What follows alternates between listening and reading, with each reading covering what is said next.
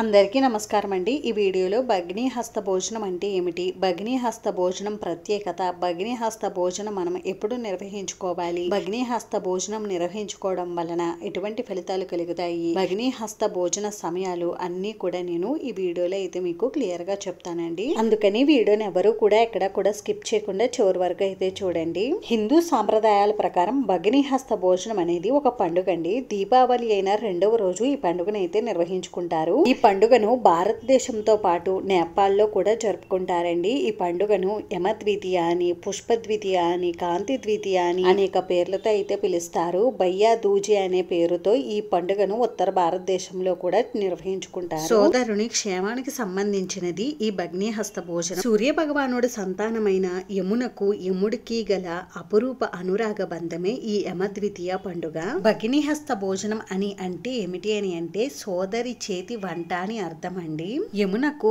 యమధర్మరాజు పైన అమితమైన ప్రేమాభిమానాలు ఎక్కువ. యమునకు వివాహమయ్యి అత్తింటికి వెళ్ళాక తన సోదరుడిని తన ఇంటికి ఎన్నో సార్లు పిలిచింది. కానీ యమధర్మరాజు వెళ్ళలేకపోయాడు. చివరకు ఒకసారి కార్తీక మాస విధియ రోజున సోదరుడు వచ్చాడని యమున సంతోషంగా పిండి వంటలతో భోజనం పెట్టింది. చాలా రోజుల తర్వాత సోదరి సోదరులు కలుసుకోవడంతో ఇరువురు సంతోషించారు. ఆ సంతోషంతో యమధర్మరాజు యమునని ఏదైనా వరం కోరుకోమంటాడు. అప్పుడు యమున ఈ కార్తీక శుద్ధ విధియ నాడు ప్రపంచంలో ఎక్కడైనా సరే తన సోదరి ఇంటికి వెళ్ళి భోజనం చేసిన సోదరులకు ఆయురారోగ్యాలు ప్రసాదించమని అడిగింది. ఈ కోరిక విని యమధర్మరాజు ఎంతో సంతోషించి ఇలా వేడుక జరుపుకున్న వారికి అపమృత్యు దోషం లేకుండా ఉంటుందని వరమిచ్చాడట. అందువలనే ఈ భగినీహస్త భోజనం అనే ఆచారం ఆచరణలోకి వచ్చింది. యమునకు యముడికి గల ఈ అపురూప అనురాగ బంధమే యమద్వితీయ పేరుతో అద్వితీయ పర్వదినంగా ఖ్యాతి పొందింది. అందువలనే ఈ యమద్వితీయ రోజున అన్నా తమ్ముళ్ళు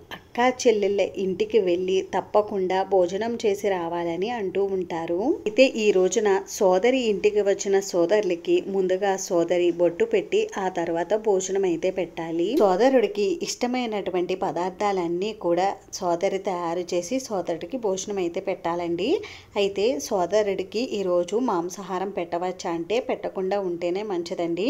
మనకి ఎలాగో ఇది కార్తీక మాసం కాబట్టి పెట్టకుండా ఉంటేనే మంచిది. సోదరుడు సోదరి చేతి వంట తిన్న తర్వాత సోదరికి పసుపు కుంకుమ పూలు పండ్లు ఇతర కానుకలను కూడా సోదరికి ఇవ్వవచ్చండి. అయితే ఇంతటి విశేషత కలిగినటువంటి ఈ భగిని హస్త భోజనం మనకి ఈ రెండు వేల ఇరవై నాలుగో సంవత్సరంలో ఎప్పుడు వచ్చింది అని అంటే స్వస్తి శ్రీ చాంద్రమాన శ్రీ క్రోతినామ సంవత్సరం దక్షిణాయనం శరద్ ఋతువు కార్తీక మాసం శుక్లపక్షం విద్యాతిథి ప్రారంభం రెండు వేల ఇరవై నాలుగు నవంబర్ రెండు శనివారం సాయంత్రం ఆరు గంటల ముప్పై ఏడు నిమిషముల నుండి ప్రారంభమయ్యి రెండు వేల ఇరవై నాలుగు నవంబర్ మూడు ఆదివారం రాత్రి ఎనిమిది గంటల మూడు నిమిషముల వరకు అయితే ఉంటుందండి. బట్టి మనం ఈ రెండు వేల ఇరవై నాలుగో సంవత్సరంలో నవంబర్ మూడవ తేదీ ఆదివారం రోజు అయితే భగ్నీహస్త భోజనం అంటే యమద్వితీయ పండుగను అయితే నిర్వహించుకోవాలండి. ఈ రోజు నక్షత్రం వచ్చేసి అనురాధ. ఇంక ఈ రోజు భగ్నీహస్త భోజనం నిర్వహించుకోవడానికి శుభ సమయాలు వచ్చేసి రెండు వేల ఇరవై నాలుగు నవంబర్ మూడు ఆదివారం ఉదయం ఐదు గంటల పద్నాలుగు నిమిషముల నుండి తొమ్మిది గంటల ముప్పై ఎనిమిది నిమిషముల లోపు మీరు మీ సోదరి ఇంటికి వెళ్ళి